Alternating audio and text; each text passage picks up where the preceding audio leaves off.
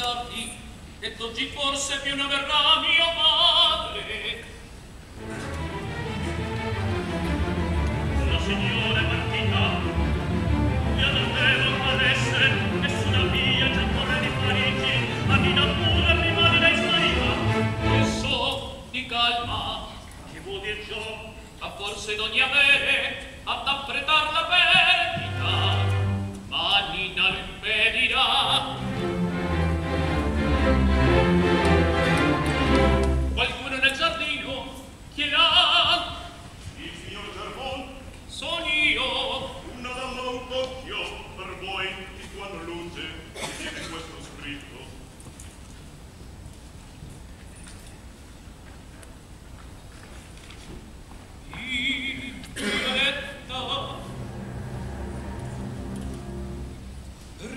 io commosso